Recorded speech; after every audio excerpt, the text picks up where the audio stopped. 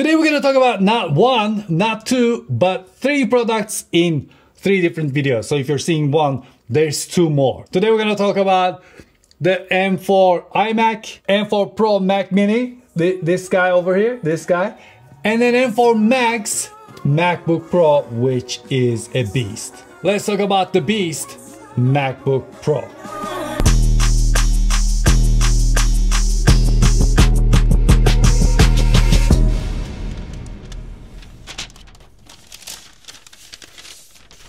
And here it is. This is, except for the storage, the fully maxed out 16 inch Space Black M4 Max MacBook Pro with nano texture display.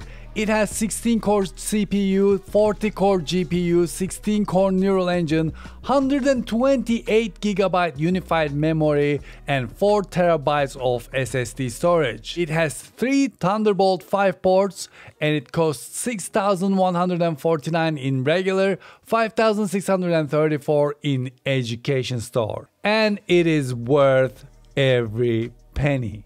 The design of the MacBook Pro remains the same. The display, of course, is the same size. There's no change in the bezels. It is 14.2 if you get the 14 inch, 16.2 if you get the 16 inch version. And they support 120 Hertz ProMotion. However, as you can see now, just like the old MacBook Pros, it comes with nano texture display. This is amazing. Once you get used to this, I mentioned this in my uh, iMac video.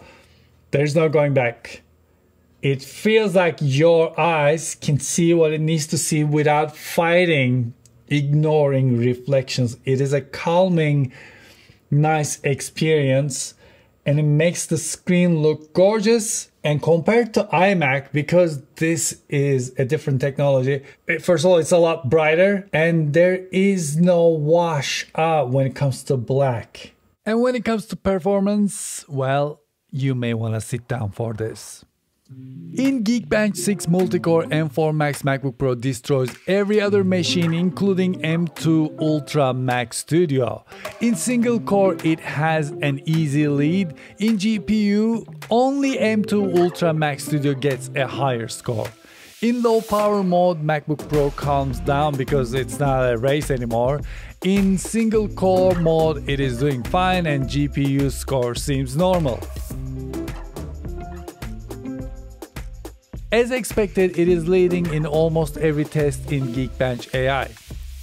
In Cinebench 2024, it is once again leading the max pack easily. Multi-core score is above and beyond, single core score is delicious. By the way, I also did a 30 minute stress test and none of these M4 machines slowed down. When it comes to disk speed, it wasn't as fast as my 8TB MacBook Pro, but still it is very fast. In Final Cut Pro 10, when it comes to render, I believe there's an optimization issue right now because the machine isn't doing anything, so I do not take these scores very seriously. However, when it comes to 8K export, it is almost as fast as M2 Ultra. Takes the lead in noise reduction test, and when it comes to compressor, once again it is way faster than previous M Max MacBook Pros. And in every test it is chasing M2 Ultra.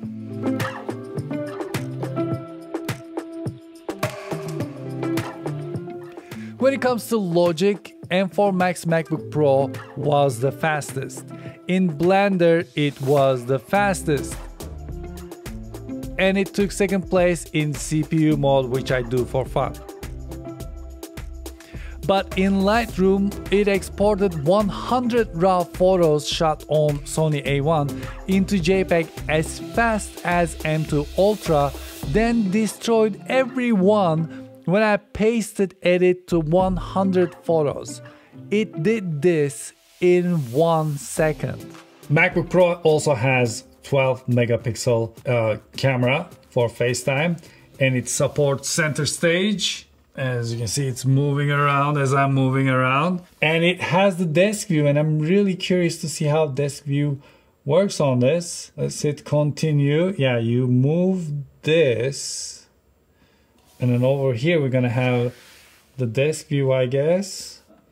So when we switch to desk view, this is the desk view. This has a little more distortion, I think, compared to the iMac because iMac is higher and the angle is different compared to MacBook Pro. This has a more this has more steep angle, I guess. This is coming has to fix the perspective a lot more. So my hands look a little interesting, right? Yeah. And when it comes to wireless, just like the other two, this thing has Bluetooth 5.3 and Wi-Fi 6E. There is no Wi-Fi 7 on these devices. I wasn't able to test the battery life, so I cannot tell you a precise information about the battery life. I think this machine is mind-blowing. I mean, I was expecting faster results, but I wasn't expecting anything like this. This is just fantastic. In every video, by the way, I showed something different with macOS Sequoia and Apple Intelligence. And on this one, I want to show you my mouse is here. And I can move it here. And then I can move it there. Just, just with this. I love this feature. But another feature I love and that works so nicely is called iPhone mirroring. So as you can see, right now I'm seeing my iPhone and on my iPhone, I'm using the Edelkrone and what I can do is I can tap this and go to the main page of my phone. I can scroll. I can do anything that I can do on my phone. In the beginning, I was thinking, yeah, this is cool, but when will I ever use it? And then I started using it this is a fantastic feature and you have to check it out. It works so nicely. You can actually drag and drop. Let's say you're using CapCut and you're editing a video. You can drag and drop a file directly into CapCut from your Mac device and start editing it there. And having all this freedom is great. And while your device is being used, there's also a notification on your phone that warns the person. If your phone is on, by the way, you cannot use that feature. As soon as I turn on my phone, it gets disconnected. So there are a lot of nice security measures taken for this feature as well. Because as soon as I heard it, I had a lot of questions, but yeah, they they did take care of them really nicely. Well, thank you very much for watching this episode. And if you finished all three of these videos, kudos to you.